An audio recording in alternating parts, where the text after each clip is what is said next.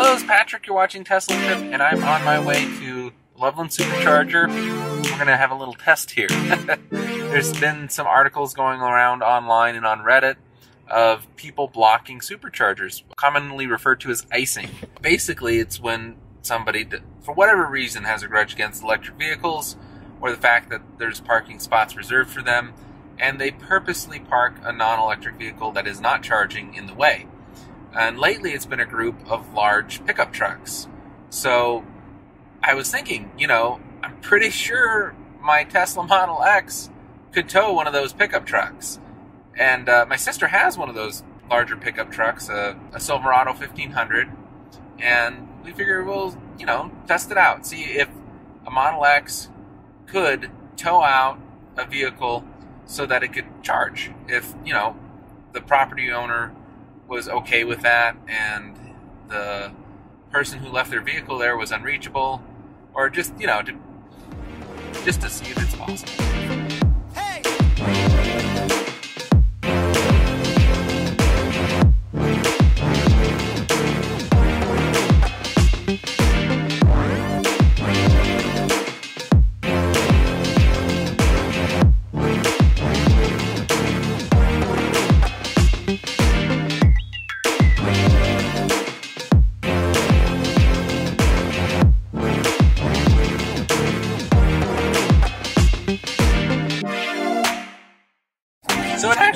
out to be incredibly easy to tow a pickup truck with the Tesla Model X.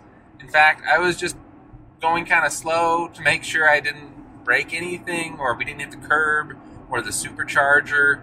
I was just taking it easy. I, I didn't want, you know, anything bad to happen. The car didn't struggle in any way, shape, or form whatsoever.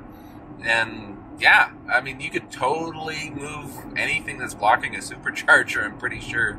The snowy conditions probably helped a little bit, but I was also on those snowy conditions, so yeah, that's that's pretty much it. You can see the front wheels are spinning. Um, the emergency brake was on because it wasn't in four wheel drive. It looks like it locked just the back brakes.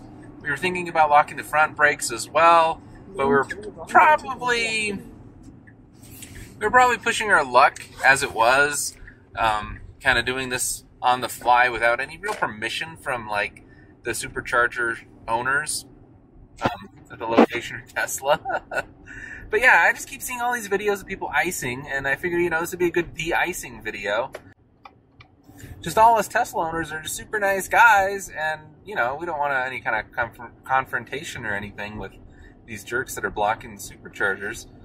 But you know, if you need to, show them this video. You know, like, you know, you know, we could easily tow these vehicles out of our space. We're just being nice. So you can show them the video and be like, look, you're really not blocking anybody.